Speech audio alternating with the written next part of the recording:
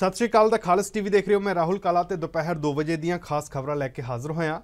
ਕਲਕੱਤਾ ਦੇ ਵਿੱਚ ਆਰਜੀ ਕਰ ਮੈਡੀਕਲ ਕਾਲਜ ਹਸਪੀਟਲ ਦੇ ਵਿੱਚ 9 ਅਗਸਤ ਨੂੰ ਜੋ ਟ੍ਰੇਨੀ ਡਾਕਟਰ ਦੇ ਨਾਲ ਘਟਨਾ ਵਾਪਰੀ ਸੀ, ਅੱਜ ਇਸ ਕੇਸ ਦੇ ਵਿੱਚ ਸੁਣਵਾਈ ਹੋ ਰਹੀ ਹੈ ਸੁਪਰੀਮ ਕੋਰਟ ਦੇ ਵਿੱਚ। ਸ- ਇਸ ਦੇ ਵਿੱਚ ਸੀਬੀਆਈ ਨੇ ਸੁਪਰੀਮ ਕੋਰਟ ਦੇ ਵਿੱਚ ਕਿਹਾ ਕਿ ਕ੍ਰਾਈਮ ਸੀਨ ਦੇ ਨਾਲ ਛੇੜਛਾੜ ਕੀਤੀ ਗਈ ਹੈ, ਜਿਸ ਤੋਂ ਬਾਅਦ ਸੁਪਰੀਮ ਕੋਰਟ ਨੇ ਕਿਹਾ ਕਿ ਕਲਕੱਤਾ ਪੁਲਿਸ ਦੀ ਜੋ ਹੈਗਾ ਪੁਲਿਸ, ਇਹਨਾਂ ਦੀ ਭੂਮਿਕਾ ਦੇ ਉੱਪਰ ਸਾਨੂੰ ਸ਼ੱਕ ਹੈ। ਜਾਂਚ ਦੇ ਵਿੱਚ ਅਜਿਹੀ ਲਾਪਰਵਾਹੀ ਉਹਨਾਂ ਨੇ ਕਿਹਾ ਕਿ ਅਸੀਂ ਆਪਣੇ 30 ਸਾਲ ਦੇ ਕੈਰੀਅਰ ਦੇ ਵਿੱਚ ਨਹੀਂ ਦੇਖੀ। ਇਸ ਤੋਂ ਪਹਿਲਾਂ ਚੀਫ ਜਸਟਿਸ ਆਫ ਇੰਡੀਆ ਨੇ ਕਿਹਾ ਸੀ ਕਿ ਡਾਕਟਰ ਕੀ ਕੰਮ ਤੇ ਵਾਪਸ ਆ ਗਏ ਨੇ, ਹਸਪਤਾਲਾਂ ਦੀ ਸਥਿਤੀ ਕੀ ਹੈਗੀ ਹੈ? ਮੈਂ ਉਹਨਾਂ ਨੇ ਕਿਹਾ ਕਿ ਮੈਂ ਇੱਕ ਖੁਦ ਸਰਕਾਰੀ ਹਸਪਤਾਲ ਦੇ ਵਿੱਚ ਫਰਸ਼ ਤੇ ਸੋਇਆ। ਮੇਰਾ ਪਰਿਵਾਰ ਇੱਕ ਬਹੁਤ ਹੀ ਜਿਹੜਾ ਬਿਮਾਰੀ ਦੇ ਨਾਲ ਗ੍ਰਸਤ ਸੀ ਤੇ ਇਹ ਮੈਂ ਸਭ ਕੁਝ ਜੋ ਦੇਸ਼ ਦੇ ਵਿੱਚ ਹੋ ਰਿਹਾ, ਇਹ ਚੱਲ ਚੁੱਕਿਆ ਹਾਂ। ਇਸ ਕਰਕੇ ਡਾਕਟਰ ਵਾਪਸ ਆਏ ਆ ਹੜਤਾਲ ਤੇ ਕਿ ਨਹੀਂ ਆਏ ਆ ਇਸ ਤੋਂ ਬਾਅਦ ਉਹਨੇ ਕਿਹਾ ਕਿ ਸਾਨੂੰ ਬਹੁਤ ਹੀ ਈਮੇਲ ਮਿਲੀਆਂ ਨੇ, ਜਿਸ ਦੇ ਵਿੱਚ ਡਾਕਟਰ ਇਹ ਕਹਿ ਰਿਹਾ ਕਿ ਸਾਡੇ ਦੇ ਉੱਪਰ ਬਹੁਤ ਜ਼ਿਆਦਾ ਦਬਾਅ ਪਾਇਆ ਜਾ ਰਿਹਾ। 48 ਜਾਂ 36 ਘੰਟੇ ਦੀ ਡਿਊਟੀ ਜਿਹੜੀ ਹੈ ਉਹ ਕਰਵਾਈ ਜਾ ਰਹੀ ਹੈ, ਜੋ ਚੰਗੀ ਨਹੀਂ ਹੈ। ਤਾਂ ਫਿਲਹਾਲ ਇਹ ਸੁਣਵਾਈ ਚੱਲ ਰਹੀ ਹੈ, ਖਬਰ ਪੜੇ ਜਾਣ ਤੱਕ। ਉਧਰ ਸ਼ੰਭੂ ਸਰਹੱਦ ਨੂੰ ਲੈ ਕੇ ਅੱਜ ਸੁਪਰੀਮ ਕੋਰਟ ਦੇ ਵਿੱਚ ਸੁਣਵਾਈ ਹੋਣ ਜਾ ਰਹੀ ਹੈ। ਪੰਜਾਬ ਤੇ ਹਰਿਆਣਾ ਸਰਕਾਰਾਂ ਕਿਸਾਨਾਂ ਦੇ ਨਾਲ ਹੋਈਆਂ, ਜੋ ਮੀਟਿੰਗ ਹੋਈ ਸੀ, ਇਹਨਾਂ ਦੀ ਰਿਪੋਰਟ ਅੱਜ ਕੋ- ਸੁਪਰੀਮ ਕੋਰਟ ਦੇ ਵਿੱਚ ਪੇਸ਼ ਕਰਨਗੀਆਂ। ਪੰਜਾਬ ਹਰਿਆਣਾ ਦੀ ਪੁਲਿਸ ਅਤੇ ਪ੍ਰਸ਼ਾਸਨ ਨੇ ਕਿ- ਕਿਸਾਨਾਂ ਦੇ ਨਾਲ ਬੀਤੇ ਦਿਨ ਪਟਿਆਲਾ ਦੇ ਵਿੱਚ ਮੀਟਿੰਗ ਕੀਤੀ ਸੀ। ਹਾਲਾਂਕਿ ਇਸ ਬੈਠਕ ਦੇ ਵਿੱਚ ਕੋਈ ਵੀ ਸਿੱਟਾ ਨਹੀਂ ਸੀ ਨਿਕਲਿਆ। ਇਸ ਤੋਂ ਪਹਿਲਾਂ 10 ਦਿਨ ਪਹਿਲਾਂ ਜੋ ਸੁਣਵਾਈ ਹੋਈ ਸੀ, ਸੁਪਰੀਮ ਕੋਰਟ ਨੇ ਦੋਵਾਂ ਸੂਬਿਆਂ ਦੀਆਂ ਸਰਹੱਦਾਂ ਨੂੰ ਅੰਸ਼ਕ ਤੌਰ ਦੇ ਉੱਪਰ ਖੋਲਣ ਦੀ ਗੱਲ ਕਹੀ ਸੀ। ਅੱਜ ਪੰਜਾਬ ਕਾਂਗਰਸ ਵੱਲੋਂ ਚੰਡੀਗੜ੍ਹ ਦੇ ਵਿੱਚ ਰੋਸ ਪ੍ਰਦਰਸ਼ਨ ਕੀਤਾ ਜਾ ਰਿਹਾ ਹੈ। ਇਸ ਸੰਬੰਧੀ ਸੂਬੇ ਦੀ ਸਮੁੱਚੀ ਲੀਡਰਸ਼ਿਪ ਸ਼ਾਮਲ ਹੈ। ਇਹ ਪ੍ਰਦਰਸ਼ਨ ਕੇਂਦਰ ਸਰਕਾਰ ਦੇ ਖਿਲਾਫ ਹੈ। ਇਸ ਦੌਰਾਨ ਇਸ ਦੌਰਾਨ ਭਾਰਤੀ ਸਿਕਿਉਰਿਟੀਜ਼ ਐਂਡ ਐਕਸਚੇਂਜ ਬੋਰਡ ਯਾਨੀ ਕਿ ਸੇਬੀ ਦੇ ਮੁਖੀ ਨੂੰ ਉਹਨਾਂ ਦੇ ਅਹੁਦੇ ਤੋਂ ਹਟਾਉਣ ਅਤੇ ਮਾਮਲੇ ਦੀ ਜੇਪੀਸੀ ਜਾਂਚ ਕਰਵਾਉਣ ਦੀ ਮੰਗ ਕੀਤੀ ਗਈ ਹੈ। ਸੂਬਾ ਪੱਧਰੀ ਧਰਨੇ ਦੇ ਵਿੱਚ ਪੰਜਾਬ ਕਾਂਗਰਸ ਦੇ ਪ੍ਰਧਾਨ ਅਮਰਿੰਦਰ ਸਿੰਘ ਰਾਜਾ ਵੜਿੰਗ ਨੇ ਇਸ ਦੀ ਅਗਵਾਈ ਕੀਤੀ ਹੈ। ਪਿਛਲੇ ਹਫ਼ਤੇ ਖੰਨਾ ਦੇ ਸ਼ਿਵਪੁਰੀ ਮੰਦਿਰ ਦੇ ਵਿੱਚ ਜੋ ਚੋਰੀ ਹੋਈ ਸੀ, ਇਸ ਘਟਨਾ ਨੂੰ ਸੁਲਝਾਉਣ ਦਾ ਪੰਜਾਬ ਪੁਲਿਸ ਨੇ ਦਾਅਵਾ ਕੀਤਾ ਹੈ। ਪੁਲਿਸ ਨੇ ਜਾਣਕਾਰੀ ਦਿੰਦਿਆਂ ਕਿਹਾ ਕਿ ਇਸ ਗਿਰੋਹ ਦਾ ਖੰਨਾ ਜਾਂ ਪੰਜਾਬ ਦੇ ਨਾਲ ਕੋਈ ਵੀ ਲਿੰਕ ਨਹੀਂ ਹੈ। ਇਹ ਗਿਰੋਹ ਅੰਤਰਰਾਜੀ ਹੈ, ਜੋ ਵੱਖ-ਵੱਖ ਸੂਬਿਆਂ ਦੇ ਵਿੱਚ ਚੋਰੀ ਦੀਆਂ ਵਾਰਦਾਤਾਂ ਨੂੰ ਅੰਜਾਮ ਦਿੰਦਾ ਹੈ ਤੇ ਫਿਰ ਇੱਥੋਂ ਫਰਾਰ ਹੋ ਜਾਂਦਾ ਹੈ।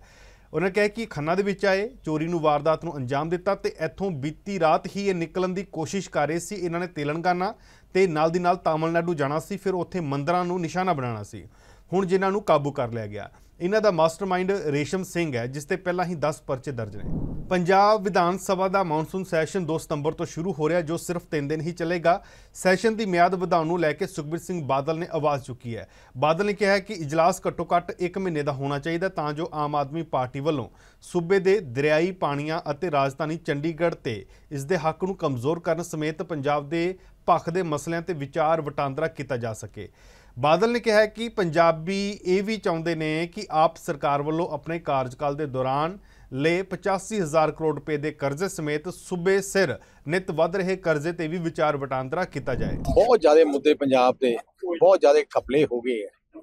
ਸੈਸ਼ਨ ਜਾਣ ਕੇ ਛੋਟਾ ਕਰਦੇ ਹੈ ਕਿ ਕਿਸੇ ਸਵਾਲ ਦਾ ਜਵਾਬ ਨਾ ਦੇ ਸਕਣ। ਐ ਜੀ ਨਕਮੀ ਸਰਕਾਰ ਹੈ। ਜਿਹਦੇ ਕਰਕੇ ਅੱਜ ਪੰਜਾਬ ਬਹੁਤ ਪਿੱਛੇ ਚਲੇ ਗਿਆ। ਸੋ ਮੈਂ ਤਾਂ ਕਹਿਣਾ ਸੈਸ਼ਨ ਜਿਹੜੇ ਹੁੰਦੇ ਹੈ ਅਸੀਂ ਇਲੈਕਟਡ ਐਮਐਲਏ ਹੈ ਇਲੈਕਟਡ ਐਮਐਲਏਆਂ ਦਾ ਮਤਲਬ ਹੈ ਸੈਸ਼ਨ ਜਾਣ, ਆਪਣੇ ਸਵਾਲ ਪੁੱਛਣ, ਸਰਕਾਰ ਨੂੰ ਘੇਰਨ। ਜੇ ਸਰਕਾਰ ਨੇ ਕੋਈ ਚੰਗੇ ਕੰਮ ਕਰਨ, ਉਹਨੇ ਸ਼ਾਬਾਸ਼ੀ ਦੀ ਵੀ ਦੇਣ। ਤਿੰਨ ਤਿੰਨ ਦਿਨ ਦਾ ਕੋਈ ਸੈਸ਼ਨ ਹੁੰਦਾ। ਪੂਰੇ ਸਾਲ ਵਿੱਚ ਜੇ ਇੱਕ ਮਹੀਨਾ ਨਹੀਂ ਤੁਸੀਂ ਸੈਸ਼ਨ ਲਾਉਣਾ ਤੇ ਫਿਰ ਵਿਧਾਨ ਸਭਾ ਬਣਾਉਣ ਦਾ ਫਾਇਦਾ ਕੀ ਹੈ? ਹਿਮਾਚਲ ਪ੍ਰਦੇਸ਼ ਦੇ ਮੰਡੀ ਤੋਂ ਭਾਜਪਾ ਸੰਸਦ ਮੈਂਬਰ ਤੇ ਬਾਲੀਵੁੱਡ ਅਦਾਕਾਰਾ ਕੰਗਨਾ ਰਣੌਤ ਦੀ ਨਵੀਂ ਫਿਲਮ ਐਮਰਜੈਂਸੀ ਦੇ ਰਿਲੀਜ਼ ਹੋਣ ਤੋਂ ਪਹਿਲਾਂ ਹੀ ਪੰਜਾਬ ਦੇ ਵਿੱਚ ਵਿਰੋਧ ਪ੍ਰਦਰਸ਼ਨ ਸ਼ੁਰੂ ਹੋ ਗਏ ਨੇ। ਸ਼੍ਰੋਮਣੀ ਗੁਰਦੁਆਰਾ ਪ੍ਰਬੰਧਕ ਕਮੇਟੀ ਦੇ ਪ੍ਰਧਾਨ ਐਡਵੋਕੇਟ ਹਰਜਿੰਦਰ ਸਿੰਘ ਧਾਮੀ ਨੇ ਇਸ ਫਿਲਮ ਤੇ ਪਾਬੰਦੀ ਲਗਾਉਣ ਦੀ ਮੰਗ ਕੀਤੀ ਹੈ ਤੇ ਨਾਲ ਦੀ ਨਾਲ ਕੰਗਣਾ ਰਣੌਤ ਤੇ ਪਰਚਾ ਦਰਜ ਕਰਨ ਦੀ ਬੇਨਤੀ- ਮੰਗ ਰੱਖੀ ਹੈ ਉਹਨਾਂ ਨੇ। ਇਸ ਧਾਮੀ ਨੇ ਕਿਹਾ ਕਿ ਫਿਲਮ ਦੇ ਵਿੱਚ ਸਿੱਖਾਂ ਦੇ ਕਿਰਦਾਰ ਨੂੰ ਗਲਤ ਤਰੀਕੇ ਦੇ ਨਾਲ ਪੇਸ਼ ਕੀਤਾ ਗਿਆ, ਜਿਸ ਨੂੰ ਸਿੱਖ ਕੌਮ ਬਰਦਾਸ਼ਤ ਨਹੀਂ ਕਰ ਸਕਦੀ। ਉਹਨਾਂ ਨੇ ਕੰਗਣਾ ਰਣੌਤ ਦੇ ਖਿਲਾਫ ਧਾਰਮਿਕ ਭਾਵਨਾਵਾਂ ਭੜਕਾਉਣ ਦਾ ਮਾਮਲਾ ਦਰਜ ਕਰਨ ਦੀ ਮੰਗ ਕੀਤੀ ਹੈ। ਪੰਜਾਬ ਸਕੂਲ ਸਿੱਖਿਆ ਬੋਰਡ ਵੱਲੋਂ ਸਾਲ 2024-25 ਦੇ ਲਈ 5ਵੀਂ 8ਵੀਂ 9ਵੀਂ ਤੋਂ 12ਵੀਂ ਜਮਾਤ ਦੇ ਵਿਦਿਆਰਥੀਆਂ ਦੇ ਦਾਖਲੇ ਦੀਆਂ ਤਰੀਕਾਂ ਦੇ ਵਿੱਚ ਇੱਕ ਵਾਰ ਵਾਧਾ ਕਰ ਦਿੱਤਾ ਗਿਆ। ਇਹ ਪਹਿਲਾਂ 31 ਜੁਲਾਈ ਤੱਕ ਦਾਖਲੇ ਕੀਤੇ ਗਏ ਸਨ, ਤਾਂ ਹੁਣ ਇਸ ਨੂੰ ਵਧਾ ਕੇ 31 ਅਗਸਤ ਕਰ ਦਿੱਤਾ ਗਿਆ। ਇਹ ਰਿਵਾਈਜ਼ਡ ਸ਼ਡਿਊਲ ਦੇ ਅਨੁਸਾਰ 9ਵੀਂ ਤੋਂ 12ਵੀਂ ਜਮਾਤ ਦੇ ਵਿਦਿਆਰਥੀਆਂ ਦੇ ਲਈ 16 ਸਤੰਬਰ ਤੱਕ ਬਿਨਾਂ ਲੇਟ ਫੀਸ ਦਾਖਲੇ ਹੋਣ ਇਸ ਰਿਵਾਈਜ਼ਡ ਸ਼ਡਿਊਲ ਦੇ ਅਨੁਸਾਰ 9ਵੀਂ ਤੋਂ 12ਵੀਂ ਜਮਾਤ ਦੇ ਵਿਦਿਆਰਥੀਆਂ ਦੇ ਲਈ 16 ਸਤੰਬਰ ਤੱਕ ਬਿਨਾਂ ਲੇਟ ਫੀਸ ਦਾਖਲੇ ਹੋਣਗੇ।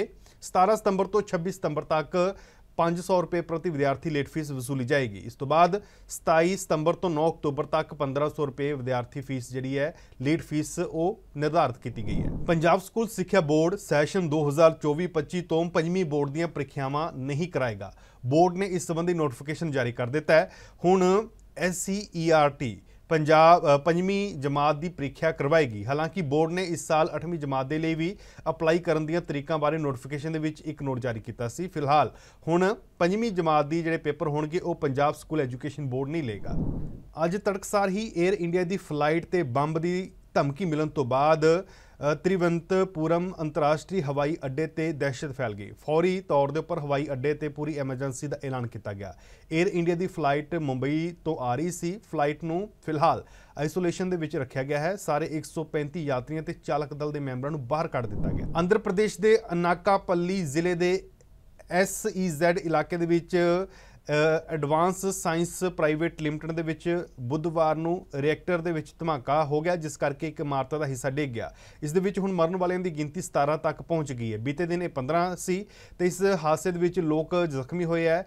ਇਹਨਾਂ ਦੀਆਂ ਜ਼ਖਮੀਆਂ ਦੇ ਵਿੱਚੋਂ ਕਈਆਂ ਦੀ ਹਾਲਤ ਨਾਜ਼ੁਕ ਬਣੀ ਹੋਈ ਹੈ ਤੇ ਖਦਸ਼ਾ ਹੈ ਕਿ ਮੌਤਾਂ ਦਾ ਅੰਕੜਾ ਵੱਧ ਸਕਦਾ ਹੈ। ਬੰਗਲਾਦੇਸ਼ ਦੀ ਅੰਤਰਿਮ ਸਰਕਾਰ ਨੇ ਵੱਡਾ ਫੈਸਲਾ ਲੈਂਦੇ ਹੋਏ ਸਾਬਕਾ ਪ੍ਰਧਾਨ ਮੰਤਰੀ ਸ਼ੇਖ ਹਸੀਨਾ ਦਾ ਡਿਪਲੋਮੈਟਿਕ ਪਾਸਪੋਰਟ ਰੱਦ ਕਰ ਦਿੱਤਾ ਹੈ। ਇਸ ਦੇ ਨਾਲ ਹੀ ਉਸ ਦੇ ਹੋਰ ਸਾਥੀਆਂ ਦੇ ਡਿਪਲੋਮੈਟਿਕ ਪਾਸਪੋਰਟ ਵੀ ਰੱਦ ਕਰ ਦਿੱਤੇ ਗਏ ਨੇ। ਡਿਪਲੋਮੈਟਿਕ ਪਾਸਪੋਰਟ ਰੱਦ ਹੋਣ ਤੋਂ ਬਾਅਦ ਸ਼ੇਖ ਹਸੀਨਾ ਦੇ ਲਈ ਦੂਜੇ ਦੇਸ਼ਾਂ ਦਾ ਦੌਰਾ ਕਰਨਾ ਵੀ ਹੋਰ ਮੁਸ਼ਕਲ ਹੋ ਜਾਏਗਾ। ਪਾਸਪੋਰਟ ਰੱਦ ਕਰਨ ਦਾ ਕਾਰਨ ਇਹ ਦੱਸਿਆ ਗਿਆ ਕਿ ਸ਼ੇਖ ਹਸੀਨਾ ਦੇ ਖਿਲਾਫ ਹੁਣ ਤੱਕ 40 ਅਪਰਾਧਿਕ ਮਾਮਲੇ ਦਰਜ ਕੀਤੇ ਗਏ ਨੇ। ਫਿਲਹਾਲ 2 ਵਜੇ ਦੀਆਂ ਖਾਸ ਖਬਰਾਂ ਦੇ ਵਿੱਚ ਇਨਾ ਹੀ। ਮੈਨੂੰ ਦਿਓ ਇਜਾਜ਼ਤ, ਧੰਨਵਾਦ।